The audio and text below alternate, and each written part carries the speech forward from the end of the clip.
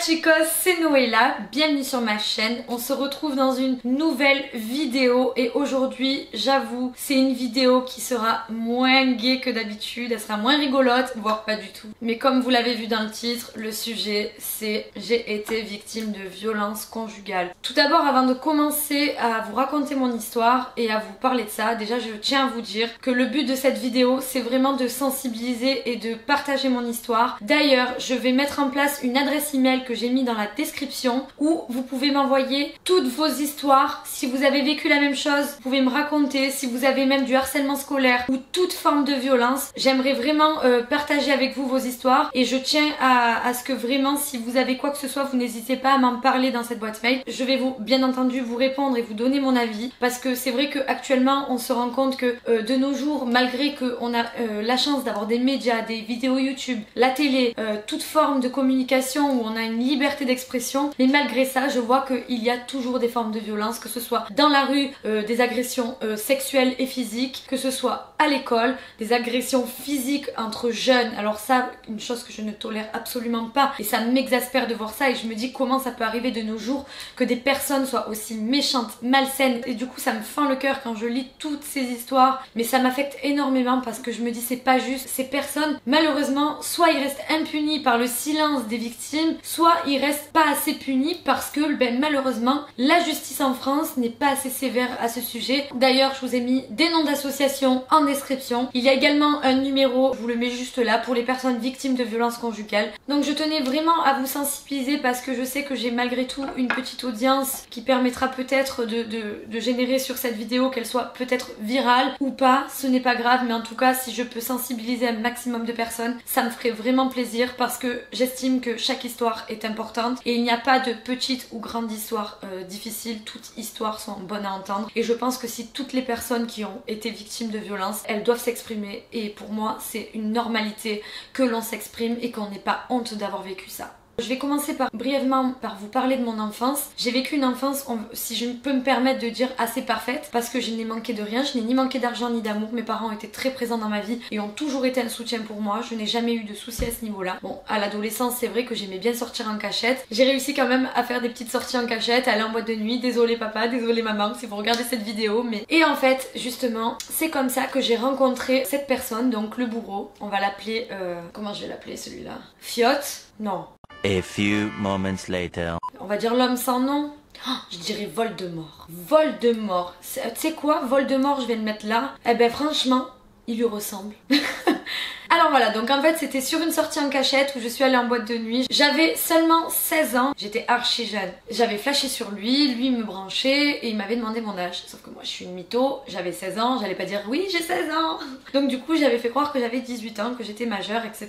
Que Voldemort avait à l'époque euh, même pas 20 ans, donc je crois qu'il avait 20, il allait sur ses 21 ans. Donc il était beaucoup plus âgé que moi, il avait 50 plus que moi. Bon pour le coup il pensait que j'avais 18 ans donc on va pas lui en vouloir. Donc la rencontre se passe super bien, on avait un super feeling on échange nos numéros. Sur le coup, je me suis dit, waouh, Voldemort, c'est de la bombe, il est super, il est, super sympa, ses collègues adorables, vraiment je me suis dit, bah ça y est, je me suis fait de nouveaux amis. Et c'est vrai que moi, à cet âge-là, j'avais eu quelques petits flirts, mais je n'avais pas encore eu vraiment de petites amies. Je n'étais jamais encore, euh, j'avais pas encore franchi euh, le pas euh, de, de, coucher avec un garçon. J'étais encore vierge. Et je m'étais dit, waouh, lui, vraiment, je me vois trop coucher avec lui. Je veux que ce soit mon premier. Si je peux le décrire, il était très masculin, viril. Et en fait, quelque part, c'est ça m'a tiré parce que ben moi j'aimais pas en fait les garçons de mon âge. Et du coup c'est peut-être pour ça aussi que j'avais pas trop de petits copains. Parce que les garçons de mon lycée ne me plaisaient pas. Donc à ce moment-là j'ai gardé contact avec eux. Donc du coup on s'est échangé des messages avec Voldemort. Et c'est vrai que j'ai gardé un super contact avec lui, j'avais vraiment flashé sur lui, j'avais bloqué sur lui.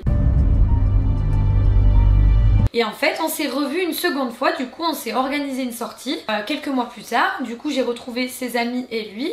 putain, à ce moment-là, en fait, ce soir-là, on a commencé à danser ensemble, à s'amuser, à rigoler. Donc, on était sur la piste de danse, en fait, et on était en mode euh, vraiment, c'était hyper étrange et je ressentais quelque chose. Je m'en rappelle, il portait le parfum Fahrenheit 32 de Christian Dior.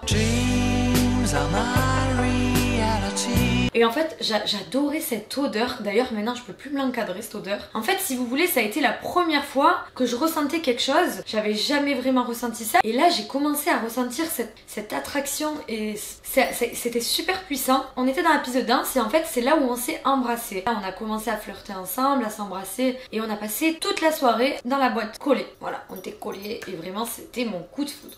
J'étais à fond. Donc en fait, si vous voulez, euh, je vais vous passer les détails. Là, c'était vraiment pour, pour, vous parler de la rencontre, comment ça s'est passé, pour vous expliquer à quel point vraiment j'avais eu un coup de foudre pour ce garçon dès l'âge de 16 ans. En fait, pendant exactement deux années, Voldemort en fait euh, refusait systématiquement de, de me fréquenter et d'aller plus loin avec moi. Moi, j'étais prête, j'avais j'avais choisi ce garçon, mais c'était toujours très platonique et on faisait beaucoup de plages ensemble, de petites sorties, on allait faire des barbecues avec ses amis. Et c'est vrai que vraiment, je le voyais comme quelqu'un de hyper respectueux, avec des valeurs, super gentil. Et dans ma tête, c'était très clair, je voulais être avec lui. Jusqu'au jour où en fait, je le revois euh, quand j'avais donc, à ce moment-là, j'avais 17 et j'allais sur mes 18 ans. Un jour, il m'appelle, il me dit, ah, ça te dit, on se fait une petite sortie et tout. Je sais plus ce qu'on avait fait, un barbecue entre amis. Il m'avait invité, il m'avait proposé de dormir chez lui. Donc j'ai accepté, bien sûr, moi, euh, Voldemort qui m'appelle, je reçois le message, oh putain, euh, en bombe, je me rase et tout, je me fais belle, ça y est, il revient. Et je vous avoue que pendant deux ans, vraiment, j'étais sur ses. C'est-à-dire que pendant deux ans, je ne vivais que pour lui. Alors que vraiment, j'étais... Euh, enfin voilà, le mec, euh, il m'appelait quand il avait envie, je le voyais quasiment jamais. Et en fait, il s'avère que donc, ce jour-là, donc quand je suis venue passer le week-end avec lui, euh, du coup, c'est là où s'est passé notre première fois. Donc la première fois où j'ai enfin...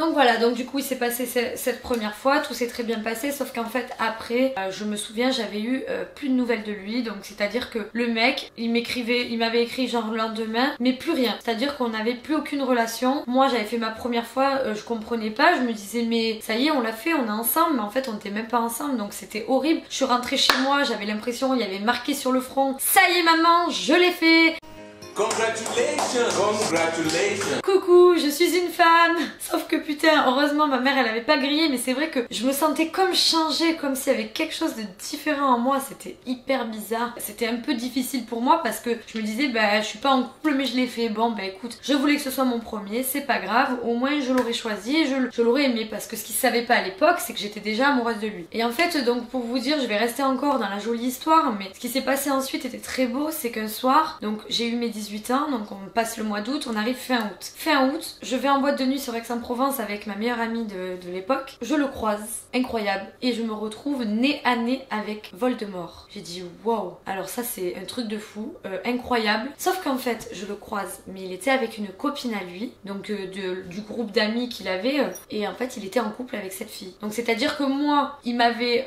dévergé et il m'a pu donner de nouvelles alors que j'étais une fille droite, une fille bien, mais par contre, il allait fréquenter, je la déteste d'ailleurs, je sais plus comment elle s'appelle. On va l'appeler euh, Janine euh, ou je sais pas, euh, on s'en fout de son nom. Et en fait, elle, bah, du coup, je le vois avec. Et là, je vous avoue que je me suis mise à pleurer, mais genre devant tout le monde. C'était horrible. Et en fait, il l'a vu, il, m'a, il a vu le malaise parce qu'il m'avait fait la bise comme si de rien. Comme si c'était normal. Ouais, j'ai une copine, salut, ouais, super, cool. Et de là, en fait, je, je l'ai regardé en pleurant. Je suis partie vers l'extérieur et il m'a suivi à la... On était à l'entrée de la boîte de nuit. Il est venu, il m'a dit, mais qu'est-ce qui se passe? Je comprends pas, mais pourquoi tu pleures? Et j'ai dit, bah en fait, euh, je me rends compte que ça me fait du mal, que tu m'as pas donné de nouvelles alors qu'on a couché ensemble. Et là, en fait, c'était magnifique parce qu'il a eu une super réaction. Il m'a pris dans ses bras, il m'a serré fort. Il avait à l'époque une gourmette et il me l'a donnée. Il m'a dit, écoute, je te la donne. Je m'engage vraiment à quitter cette fille parce que je suis pas amoureux d'elle. Moi, je savais pas que t'avais autant de sentiments pour moi. Je savais pas que t'étais sincère. Mais j'aimerais vraiment qu'on se revoie dans la semaine. J'ai des choses à te dire. Une semaine plus tard, euh, il me propose de venir passer le week-end chez lui. Donc là, il me parle, on discute. Il me dit, écoute, j'ai quelque chose à t'annoncer. Euh, je pars à l'armée. Donc je pars pour euh, mes classes. Je pars pendant 6 mois à faire mes classes. Et si tout se passe bien, je resterai encore 6 mois. Donc j'ai signé un contrat d'un an. Euh, je comprenais pas. Je disais mais comment ça se fait qu'il t'a pris cette idée? Il me dit écoute, euh, ce que tu sais pas sur moi, c'est que je suis quelqu'un d'assez torturé. j'ai un passé assez compliqué. Et je veux. Il était, il avait un métier de maçon ou je sais plus ce qu'il disait là, des façades. Il me disait moi je peux plus faire ça. J'ai besoin de me recadrer, de me rééquilibrer. Bon moi j'ai dit oh, c'est super, c'est militaire, c'est beau. J'ai dit mais c'est pas grave. Au pire on pourra se fréquenter. Même si t'es à l'armée l'armée, moi je t'attendrai, je serai là pour toi, etc. Enfin voilà, moi j'étais déter, j'étais folle de lui. Ça m'a jamais alerté le fait qu'il veuille être militaire parce que je m'étais dit c'est bien, il veut se donner une ligne de vie et être quelqu'un de, peut-être meilleur. Je ne savais pas pour quelle raison parce que moi pour moi je le voyais comme quelqu'un de génial, je, le mettais genre euh, là quoi, c'était euh, Voldemort, euh, c'était BG, il passait, il passait bien, il avait une tête un peu de, de cramé, mais ça va, il passait bien. Enfin en tout cas moi ça me plaisait à l'époque. À ce moment-là on a décidé de se mettre en couple et il m'a dit écoute ben on se met ensemble, je veux bien qu'on essaye. Il m'a fait comprendre que lui ben il m'appréciait énormément. Moi donc là du coup entame la relation, tout se passe bien. Il débute donc l'armée et là donc c'est vrai que c'était assez compliqué parce que j'ai pas pu le voir un mois en fait. Il y avait un mois je le voyais pas, après je le voyais donc on se retrouvait, on était trop contents, on se voyait tout le week-end. Ça a fait ça en fait pendant facilement un an. Vient nos 3-8 mois de relation, en fait c'était comme s'il avait des combats intérieurs et en fait progressivement j'ai commencé à apercevoir en fait un, un caractère particulier et cachotier, c'est-à-dire qu'il me montrait jamais son téléphone, par contre il se permettait de regarder le mien, il regardait mes, mes photos, il regardait mes messages. Moi j'avais pas le droit de faire pareil avec le sien donc je disais c'est bizarre, pourquoi j'ai pas le droit? Et en fait un jour, il est allé à la douche et je regarde son téléphone et je vois des messages d'une certaine euh, Germaine, je sais, je vais pas dire son prénom. En fait, cette Germaine, c'était la fameuse fille qui, qui l'a fréquenté en fait euh, la fois de la boîte de nuit quand je l'ai croisée par hasard. Et je vois des messages où il l'appelait, euh, je crois qu'il lui avait donné un surnom, genre chérie ou mon chat ou un surnom hyper proche en fait.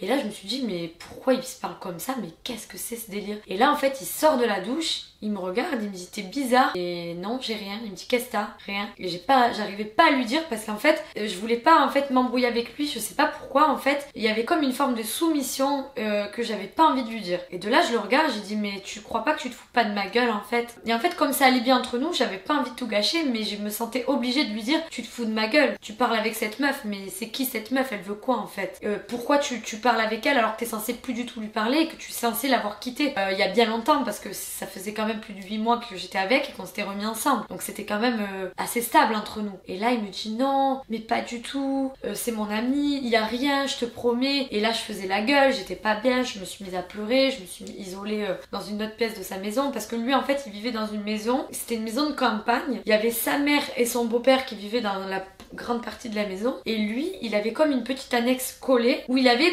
une, comme une forme de, de grand salon qui faisait à la fois chambre, une petite salle de bain et euh, un genre de bienderie qu'on avait disposé comme une petite cuisine. Donc en fait c'était un petit peu notre cocon à nous pour se retrouver et avoir de l'intimité puisque moi je vivais chez mes parents et euh, j'avais aucune raison de le ramener chez moi, j'ai jamais voulu ramener de copains. Bref, climat de tension, je commence à me dire mais c'est un truc de fou, il me trompe et tout. Et là euh, j'ai commencé à avoir des doutes sur ça mais il a réussi à me convaincre. Je me suis dit bon allez, il va plus lui parler, c'est bon, il m'a réussi à me faire avaler que c'est son ami donc je vais me faire copine avec elle, je vais accepter qu'elle soit là à des soirées, à des événements, à des anniversaires, pas de problème, j'accepte puisque monsieur il m'a enfin présenté à sa mère, il m'a présenté à sa famille, à ses amis. Moi donc du coup je l'ai enfin présenté à ma famille. Donc moi j'étais en confiance, donc du coup je me suis dit on a présenté nos familles, c'est mon premier, ce sera le dernier, je l'aime. Donc vraiment une relation qui était assez spéciale parce que quelque part lui se permettait des choses que moi je me permettais pas, à savoir donc à partir de là quand ça commençait à être sérieux, je ne m'habillais plus sexy, je n'avais pas le droit au décolleté, je n'avais pas le droit de m'habiller d'une manière provocante. Le maquillage, je vous en parle même pas, je me maquillais très light. Euh, J'achetais tout le temps des t-shirts comme ça. Et en plus, je ne parlais quasiment plus à mes amis. C'est-à-dire que toutes mes copines, je ne les voyais plus. Si je les voyais, c'était parce que j'inventais des excuses à mon ex. C'était vraiment très particulier parce qu'il m'avait un peu encerclé dans son cercle à lui. Et en fait, du coup, vient le moment où il termine son contrat à l'armée. Et là, il me dit, euh, je sais pas quoi faire. Et là, je lui dis, bah écoute, c'est ton choix. Moi, si tu restes à l'armée, j'accepte. Si tu pars, j'accepte aussi. Et là, bon, il, commence à faire le mec torturé. Je sais pas. Moi, l'armée, c'était mon rêve. Euh, je sais pas trop je sais pas trop, jusqu'au jour où il m'annonce Bah écoute, j'ai fait le choix de quitter l'armée pour toi parce que je t'aime. Donc du coup, j'étais trop contente. Donc à partir de là, on a commencé à être beaucoup plus ensemble. C'est-à-dire que là, on a commencé à vraiment se fréquenter, vraiment souvent. Et à ce moment-là, donc du coup, c'est vrai que j'étais trop heureuse. Donc euh, j'ai commencé à prendre mes affaires, à mettre quelques-unes chez lui, à aller souvent chez lui. Et inconsciemment, bon, mais comme toute fille amoureuse, je me suis plus ou moins éloignée de ma famille, de mes amis. Tout se passait bien. Jusqu'au jour où en fait, on en vient à une discussion, à parler d'ex. Et en fait, j'en suis venue à lui dire Ben, je parlais d'un garçon de mon village que d'ailleurs ce garçon-là, je lui en parlais en mal et je le détestais. je lui dis Ben, en fait, ce garçon-là, quand j'avais, euh, juste avant d'être avec toi, j'avais eu des petits copains bisous bisous, genre euh, en cours de récré et voilà quoi. Fait. Et en fait, je lui raconte Ben, lui, oui, effectivement, lui, on va l'appeler euh, Bob. Ben, Bob, oui, je l'avais embrassé une fois et tout, ça avait fait des histoires. Et là, en fait, il a révélé un visage de lui. Mais je vous jure que je n'ai pas reconnu. Je me rappellerai toute ma vie de ce moment où en fait on était assis sur le canapé. Il avait à l'époque euh, une table basse euh, en verre. Et là en fait, on était assis à côté. Il me regarde, il me dit pardon, mais tu, tu plaisantes j'espère. J'ai genre j'ai quoi? Pardon quoi? Il me dit attends tu me parles de Bob le le mec que ton frère il déteste, que genre il s'est presque battu avec, toi tu as été l'embrasser, tu une Et là, moi, choquée, j'ai dit attends. Non, mais, euh, vraiment, j'avais jamais vu ça en fait. Je l'avais jamais vu comme ça. Je savais qu'il avait des accès de colère. Il m'en avait vaguement parlé. Et ça, on va y venir après. Mais euh, pas avec moi. Et là, en fait, donc ça faisait quand même 8-9 mois qu'on était ensemble, presque un an quoi. Je mais qu'est-ce qui lui arrive? Au bout de 8 mois, d'un coup, euh, je vois un visage de lui bizarre. Et là, je le regarde, je dis mais ça fait pas de moi une en fait j'ai rien fait de mal et là une crise de nerfs mais je vous jure genre euh, j'étais comme ça tétanisée de dire mais qu'est-ce que c'est? J'ai jamais vu ça de ma vie le mec il a attrapé la table basse il l'a jeté en l'air. Donc la table s'est brisée. C'est-à-dire que la table en verre était en mille morceaux par terre. Moi, j'étais effrayée. J'ai dit quoi? Mais qu'est-ce que tu fais? Ouais Il commence à taper une crise, mais genre euh, métamorphose, genre comme ça. On aurait dit vraiment Voldemort le mec comme ça, les veines qui sortent et tout. Ouais, check une et en fait, t'as des mecs, t'es sorti avec des mecs, qu'est-ce que t'as fait avec lui? T'as couché avec lui Ah nanana et, euh, et en fait, c'est vrai que ce qu'il faut savoir, c'est que quand j'ai couché avec lui pour la première fois, je lui avais fait croire que je l'avais déjà fait. Mais en fait, c'est bête quand on est jeune, mais on fait croire des, trucs bêtes. Moi, j'avais menti sur mon âge. D'ailleurs, je suis pas revenue là-dessus. Mais mon âge, il a su quand j'ai eu 18 ans, en fait. C'est là où on s'est mis ensemble. Tout ça pour dire que là, à ce moment-là, en fait, j'ai dit, mais tu sais, euh, Voldemort, je, je j'ai jamais eu de mec avant toi quand même. T'es mon premier avec qui je couche. Oui, j'ai eu des petites amies ben c'est normal, j'ai eu une vie avant toi, j'avais 16 ans. Euh, oui, j'ai eu des petits, des petits copains pendant que toi tu faisais ta vie. Je vois pas en quoi, en quoi ça fait de moi une donc j'ai essayé de me défendre à justifier la chose, à lui dire écoute, c'est pas une raison pour te mettre dans cet état, je comprends pas ta réaction. Et là il pète une crise, mais ça va. J'ai réussi à le calmer, euh, vraiment, mais c'était quand même d'une sacrée violence. Il m'a dit écoute, excuse-moi, mais je suis quelqu'un de super nerveux, mais il n'a eu aucun geste envers moi. Donc je me suis dit bon, euh, il est juste colérique. Je découvre une nouvelle facette de lui, ok, bon. Et là en fait je culpabilise et je me suis dit putain mais qu'est-ce que j'ai pas fait de lui dire ça? Mais là en fait je parle avec lui, je lui dis écoute, tu me parlais de ton ex, tu m'as raconté tes histoires du passé, pourquoi moi je ne te parlerai pas du mien? Et là il m'a dit écoute, moi je suis très jaloux, euh, moi d'ailleurs j'aimerais que tu effaces tous tes, euh, tous tes mecs dans ton répertoire, donc c'est à partir de là que, et moi parce que je pensais avoir tort, je lui ai donné mon téléphone, je lui ai dit écoute efface tous les mecs de mon répertoire, il y a aucun souci, j'ai rien à me reprocher, je t'en prie. Donc là il a commencé à effacer, effacer, effacer, bon j'avais plus de potes, c'était fini, plus de copains. À partir de ce jour-là, plus d'amis mecs. C'était réglé. Et en fait, donc ça a été la première dispute. Et de là, en fait, il m'explique qu'il avait un casier judiciaire. Il m'apprend donc ce jour-là qu'il avait un casier judiciaire, que c'était quelqu'un d'hyper colérique, qu'il avait frappé quelqu'un, donc qu'il ne l'a pas tué, Dieu merci, mais que en fait, il avait un dossier. je me rappelle, il me parlait comme ça. Euh, j'ai un dossier comme ça dans le placard à ma mère. Si tu veux un jour, je te le sortirai. Il me dit moi, j'ai un vécu particulier. Donc moi, en fait, des fois, ça me donne des accès de colère. Ça m'arrive de m'énerver sur mes amis, sur les gens que j'aime, sur ma mère et sur d'autres personnes. Donc là, notre relation continue. Un mois se passe environ, ouais, même pas. Et là, on se retrouve invité à l'anniversaire de Germaine. La connasse, parce que bien sûr, moi je n'avais pas le droit d'avoir des amis masculins, mais lui, il parlait à Germaine, son ex, avec qui il a flirté un été. Alors je sais pas si vous me suivez. Moi, je l'ai accepté en me disant c'est pas grave, c'est son amie. Quand même, Noëlla, c'est son amie, tous ses collègues l'adorent, cette fille, elle est super sympa. Bon, je la déteste intérieurement, mais je ravale. Donc il était invité à son anniversaire, il fallait que j'y aille. J'ai dit bon, j'ai pas tellement envie d'y aller. Ah si si si, on y va, il faut que tu acceptes, c'est comme ça. Ok, on y va. Et en gros, je me retrouve à la soirée, je me rappelle ce jour-là, j'avais mis euh, une robe, une petite robe moulante, euh, assez courte, parce que moi j'ai toujours été super féminine, même s'il m'interdisait de m'habiller, là c'était une soirée, je m'étais dit on est hors contexte, il est là, il y a ses amis, moi j'ai rien à m'en reprocher. On arrive à l'anniversaire, donc il y avait forcément ses amis à lui, bien entendu pas les miens, et d'autres amis certainement à Germaine. Et en fait à un moment on était dans la cuisine et j'étais allée chercher un petit four ou un verre, je sais plus. Là d'un coup il y a un jeune, donc un de ses collègues certainement, qui vient me voir. Moi j'étais seule. Voldemort il était sûrement en train de discuter ou fumer une cigarette avec je ne sais qui. Et là il me regarde, le mec, il me dit, euh, il, me fait, euh, tu as des jambes, elles sont magnifiques, tu es très belle. Et là, moi, en fait, j'étais en train de prendre mon verre et je savais que Voldemort était super jaloux. Je me suis dit, merde, dans ma tête, je me suis dit, putain, avec l'accès de colère qu'il m'a fait la dernière fois, s'il voit ça, qu'est-ce qu'il va faire? Et là, d'un coup, au moment où j'ai eu le temps de regarder le garçon qui venait de me complimenter, qui d'ailleurs a été très flatteur, euh, je veux dire, il n'y a pas de mal à ça, je vois la tête de Voldemort, je vous jure. Il était, genre là, il y avait le mec, je sais pas comment il s'appelle, et derrière il y avait Voldemort, je le vois en face de moi, mais un regard noir. C'est-à-dire qu'un regard, je peux même pas le décrire. Il a fait comme ça.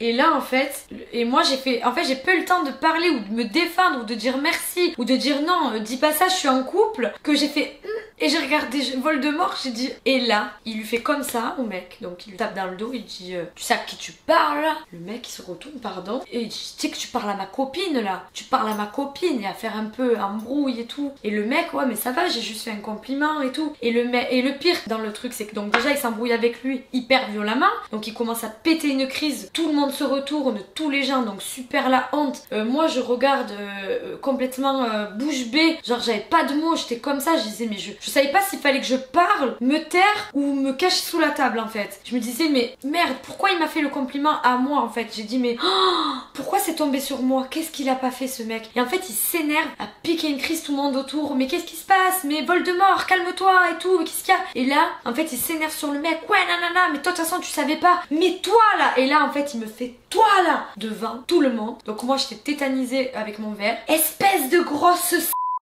tu es qu'une tu l'as branché, hein, espèce de p... Tu l'as dragué, tu es bien contente, hein, qui te fait un compliment, tu pas honte, hein, espèce de p... Il passe une p... Elle, me, elle le chauffe. Et moi, imaginez le truc. J'ai 18 ans, 19 ans, je suis toute jeune, toute mignonne, toute menue, avec ma petite robe, comme ça, à me faire insulter par mon petit copain, chez la meuf que je déteste, devant tous ses amis. Donc moi, je reçois un compliment d'un gars que je ne connais pas, que j'ai rien demandé. J'ai même pas le temps de dire merde, que je me fais insulter. J'ai dit mais c'est une blague. Donc là, j'ai commencé à être pas bien, à me dire mais c'est malade ce mec. Donc là, je pars vénère, je rentre dans ma voiture et je me mets à pleurer, à pleurer, à pleurer. Et pas bien, j'ai dit mais qu'est-ce que je fais là, mais qu'est-ce que je fais? Et à ce moment-là, j'appelle ma meilleure amie du moment et je lui raconte. Et elle, elle me dit mais c'est étrange, mais rentre et tout, euh, c'est de la violence, ça se fait pas, il a pas de parler comme ça, il te manque de respect. Et moi je pleurais, je disais mais je l'aime, je sais qu'il m'aime, mais c'est ma faute, j'aurais pas dû faire ça, je suis pas, c'est pas correct. Et en fait, si vous voulez, je culpabilisais de me dire mais pourquoi, pourquoi j'ai mis cette robe, pourquoi j'ai rien dit au garçon, mais en fait c'est que j'ai pas eu le temps de lui parler au garçon. Pourquoi je lui ai pas dit je suis en couple, pourquoi j'ai pas montré que j'étais avec lui? Mais en fait je ressassais c'est le truc et je me disais mais c'est lui il m'a pas calculé de la soirée. C'est lui qui était avec ses collègues qui m'a laissé toute seule dans la cuisine que je suis allée toute seule chercher mon verre. Pourquoi pourquoi c'est ma faute? Et j'étais mal, j'étais mal. Il y a un collègue à lui qui me suit, qui vient me parler, qui me dit écoute, euh, nous on connaît très bien euh, Voldemort, c'est un mec super euh, super nerveux mais ne t'inquiète pas, il est juste énervé, ça va passer et tout, machin. Donc moi ils arrivent à m'apaiser, je raccroche le téléphone avec ma copine et en fait je ne sais pas pourquoi je suis retournée à la soirée à l'anniversaire donc du coup j'étais pas bien, j'étais comme ça. Lui, il me regardait de travers, il me calculait pas. Donc, c'est-à-dire que là, on était sous une euh, tension froide totale. Donc, on est dans l'ultime froideur. On reste encore une heure comme ça. Et là, en fait, il me dit Bon, ben, on rentre, c'est bon, c'est la fin de la soirée. On rentre. Dans la voiture, il me parle pas, donc euh, il dit rien. C'était super froid. Je me suis dit C'est pas grave, on va rentrer, on va dormir. Demain, ça ira mieux. Il était énervé, c'est pas bien grave. Sauf que j'arrive chez lui et là en fait j'étais pas au bout de mes peines. C'est-à-dire qu'en fait je m'attendais pas à ce que ce soit pire chez lui que ce que c'était euh, chez ses collègues. Sauf qu'en fait j'arrive chez lui, il claque la porte, il me regarde, il me dit alors, t'as des belles jambes, hein? Ça t'a plu, hein? Ça t'a plu. Et moi je le regarde, je dis mais de quoi tu parles? Enfin, ça m'a plu de quoi en fait? Euh, C'est, je te l'ai dit, enfin tout le monde a compris, c'est lui qui m'a, j'ai pas eu le temps. Et là en fait repart la crise et ça m'a marqué parce qu'en fait ce jour-là, euh, il m'a arraché le collant et ça c'est super traumatisant pour une femme et super humiliant. C'est que c'est rabaissant en fait. C'est, j'ai du mal à le raconter. Je me dis est-ce que je devrais vous le raconter? Mais en fait il m'a arraché le string, il me l'a cassé et il m'a dit tu aimes ça hein, les, les mecs qui te font des compliments, tu es une salope, en fait. Eh, tu aimes ça. Et je vous passe les détails. Donc en fait, euh, il a été super violent avec moi. Super froid. Est-ce que vous vous rendez compte? Mais c'est pas grave parce que il est en colère contre moi. Il faut que je me fasse pardonner. Sauf qu'en fait, mais c'était une forme de violence. Et quand j'y pense, c'est je me dis comment j'ai pu accepter ça avec la mentalité que j'ai maintenant? Je pense que je l'aurais massacré ce mec. Vraiment. Bref, donc ça, ça a été la première réelle dispute. Et si vous voulez, il y a eu de nombreuses fois ensuite. C'est-à-dire que c'est revenu. C'est revenu. Pour X raisons. Parce que j'avais euh, dit un mot travers. Parce que j'avais renversé un verre de lait. Parce que j'avais dit que euh, un tel est charmant. Euh, une star de télé, hein, pas euh, un collègue. Parce que je, je sais même plus les raisons, mais tellement il y avait toujours une excuse. Et en fait, là où j'ai compris qu'il y avait des vraies violences conjugales, c'est quand j'ai commencé à recevoir des coups. Parce que ça, il me le disait. Tu te laisses faire. Une fois, il, s'est arrêté. Il m'a dit Ah, on dirait que je te viole. T'as pas honte Espèce de connasse? Parce que moi, en plus, c'était mon premier. Je n'avais jamais été beaucoup loin sexuellement. C'était mon premier. C'était à toi de m'apprendre. Sauf qu'en fait, j'ai pas eu le temps d'apprendre les bases sexuelles de couple. Enfin, du moins, de l'amour que tu fais avec ton petit copain. C'est-à-dire que les débuts, comme on se voyait pas beaucoup, tout se passait bien. Ah, je ne sais pas comment parce que j'étais jeune. Donc pour moi, c'était très bien. Ça me convenait. Euh, les premiers temps, euh, voilà. En plus, t'as mal au début. Après, ça se passe mieux. Enfin bref. Et en fait, il m'a reproché donc que j'étais pas assez libérée, que j'étais pas assez ouverte, que j'étais trop coincée, qu'il aimait pas ça. Et en fait, c'était que des excuses de crise, de crise. Et moi, je pleurais et j'étais tout le temps recroquevillée à me dire mais qu'est-ce que j'ai fait? Mais pourquoi il me reproche ça? Euh, Je fais pas assez bien les choses. Pourquoi je suis coincée?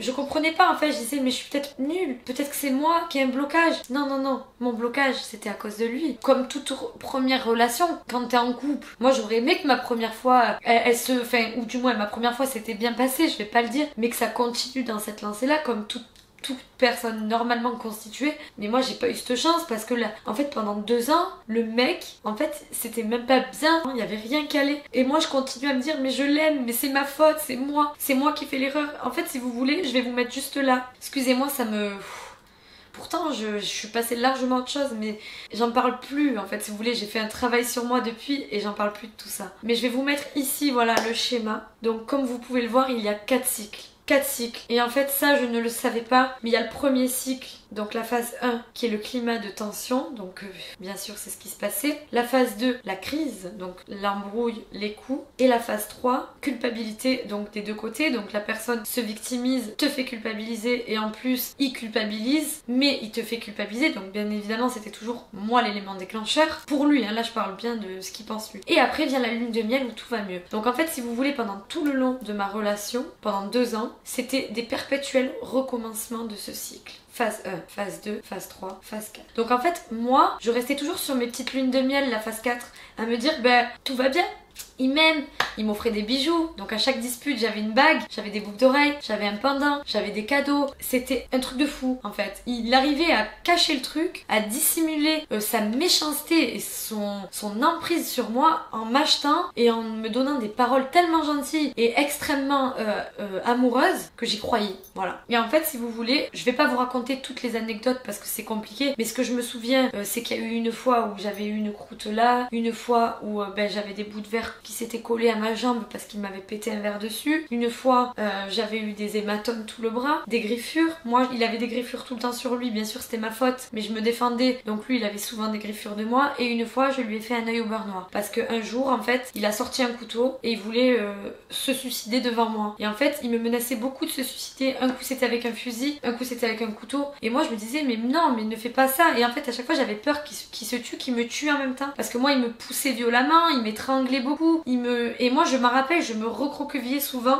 Je me mettais dans la salle de bain qui était proche de la sortie, en fait, de la maison. Et je me recroque... recroquevillais comme ça. Et je pleurais comme ça. Et lui, je me rappelle, il se mettait debout face à moi en hauteur. Et il me regardait et me parlait méchamment. Et moi, en fait, je faisais comme une carapace, comme une bulle. J'avais formé une bulle. Et comme si mes oreilles se bouchaient. Et j'étais comme ça, quand il me parlait. Je parlais plus. J'étais là à me dire bon ben ça va s'arrêter, ça va s'arrêter, ça va s'arrêter. Est-ce que vous vous imaginez que j'étais jeune, que j'avais la vie devant moi, que je passais mon bac D'ailleurs, mon bac, je sais même pas comment j'ai réussi à l'avoir avec mention parce que la veille de mon bac, il m'avait fait une crise, il me reprochait de me concentrer que sur ça, que j'étais égoïste, que j'étudiais trop et que j'étais pas assez présente et que je parlais que de choses inintéressantes, que je parlais que de mon bac et de mes chiens. Pardon, excuse-moi mais c'est intéressant quand même euh, mon bac, mes chiens ou peu importe. Donc en fait, il me rabaissait tellement que c'était psychologiquement très difficile et si vous voulez, j'ai eu tellement de crises comme ça qu'à un moment en fait, j'ai commencé à vraiment l'attraper hein, parce que lui en fait, dès que la crise se terminait, il pleurait et il me disait mais je suis pas bien, mais moi j'en veux à mon père, j'en veux à mon père et en fait, il reparlait de son histoire et de ses propres traumatismes. Et moi, je lui disais mais pourquoi tu les répercutes sur moi en fait? Je comprends pas. Je t'ai fait quoi? Je suis bienveillante, je suis gentille, je suis amoureuse de toi. Pourquoi tu me fais subir ça en fait? Je comprends pas. À ce moment-là, en fait, comme il y avait eu une très grosse histoire, euh, c'est le, je crois que c'était la fois où j'avais eu la croûte, euh,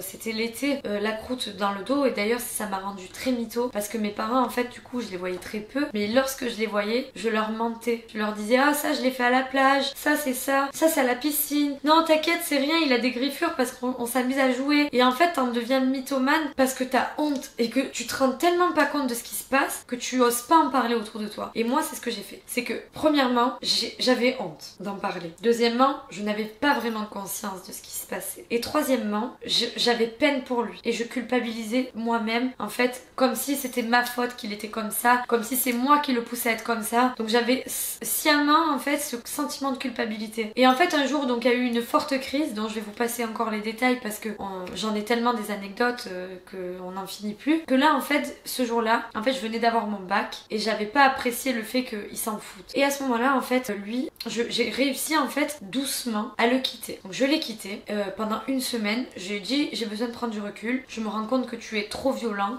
qu'il se passe trop de choses bizarres, que je n'arrive même pas à parler à ma famille parce que bien évidemment personne n'était au courant dans mon entourage. Je n'en parlais pas, je ne racontais rien et je me taisais. Et là en fait sa mère qui m'appelle, parce que sa mère était souvent mêlée à ça puisque forcément le scandale qu'on faisait, le bruit qu'on faisait, elle l'entendait. À chaque fois elle venait s'en mêler, ça partait en clash, en embrouille entre tout le monde. Elle qui essayait de calmer son fils, lui qui était violent avec elle, puis avec moi. Enfin je vous dis pas, c'était un carnaval. Le truc j'ai jamais vu ça de ma vie quand j'y pense. Moi j'ai jamais régné dans la violence, j'ai jamais vécu ça et je me disais mais, mais dans quoi je suis? Fait j'ai eu cette prise de conscience à ce moment-là et je me suis dit mais putain mais barre-toi quoi, barre-toi qu'est-ce que tu fous là? Mais c'est pas la vie que tu veux. Et là en fait ce jour, euh, pendant une semaine donc il, il essayé de me reconquérir, il m'envoyait des messages. Sa mère aussi, elle m'appelait, écoute je te comprends, je sais ce que tu vis, je l'ai vécu aussi, mon fils, et mon fils c'est un gentil, il te fait des cadeaux, il t'aime, je sais qu'il va changer et nanana. Et moi je disais ouais mais il change jamais, à chaque fois il dit qu'il va changer, il change pas. Moi j'ai pas envie de vivre ça, je, je suis jeune, j'ai l'avenir devant moi, j'aimerais poursuivre mes études et passer mon BTS, j'ai aucune envie de, de rester comme ça parce qu'aussi ça, le BTS, je devais faire mon BTS par alternance dans une entreprise, j'ai dû refuser parce que c'était un garage automobile et qui voulait pas que je travaille avec des garçons quand même. Je sais pas si vous vous rendez compte. Et j'ai accepté de, de, dire non en fait. J'ai dit ok pas de problème. Vous vous rendez compte que j'ai refusé un travail pour lui. Je me suis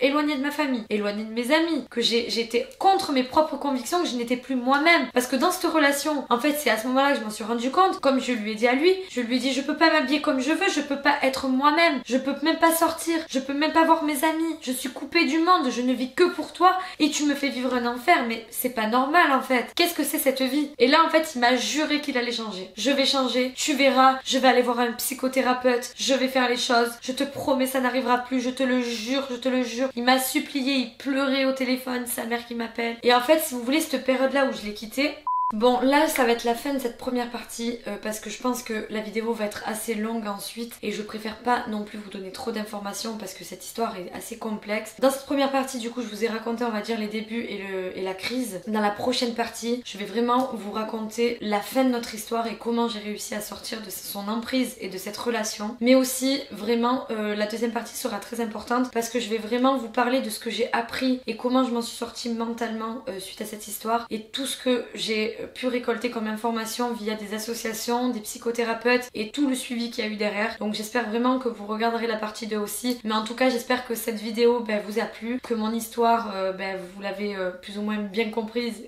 Je ne sais pas si j'ai bien pu m'exprimer parce que c'est un sujet qui est assez compliqué à exprimer, sachant que moi, il s'agit vraiment de mon passé et j'ai du mal à en parler. J'en parle jamais d'ailleurs. Si je me suis confiée à 2-3 amis, c'est le bout du monde. Voilà, je vous dis, prenez vraiment soin de vous et surtout euh, que ce soit les filles comme les garçons. Si vous vivez ne serait-ce que quelques formes de violence avec qui que ce soit, fuyez et portez plainte s'il faut le faire. Voilà, donc si cette vidéo t'a plu, lâche-moi un petit pouce bleu, lâche-moi ton petit commentaire aussi pour me donner ton avis et surtout, euh, si tu as vécu une histoire similaire, n'hésite pas à m'envoyer un mail et me raconter ton histoire, je suis à votre écoute. Et aussi, n'hésitez pas à me faire des vocaux ou bien des vidéos. Ça me ferait grave plaisir de vous lire et de vous connaître et apprendre à, à connaître vos histoires à vous parce que je sais que vous aussi, vous avez peut-être des choses à dire. Et voilà, on se retrouve très vite pour la prochaine partie.